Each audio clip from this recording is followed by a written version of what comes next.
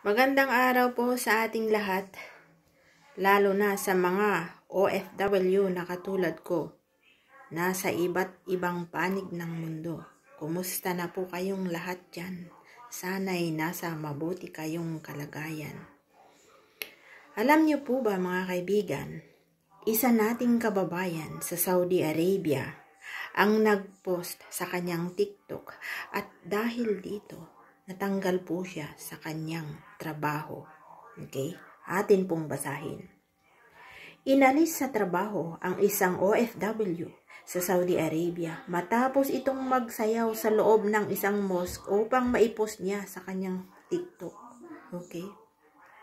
So we need to be very careful sa mga Muslim countries like Saudi Arabia.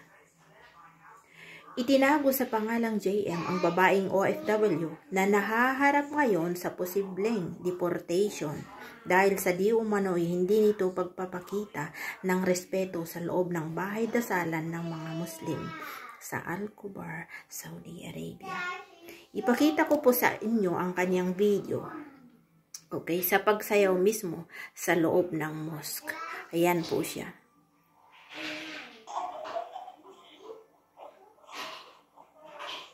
Ulitin mo ate. Ayan, inulit pa po niya. Okay, ayan po. Sa loob po ito ng mosque.